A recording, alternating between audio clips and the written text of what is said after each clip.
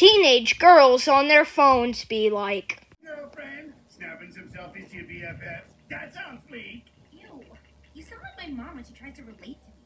Parents, right? They're so whack. Hey, since we have so much in common, how about being my friend on FriendSpace? Friends Face? That is so two weeks ago. So, uh, what should I be using? Snarkchat, duh. Never mind. Snarkchat's so over.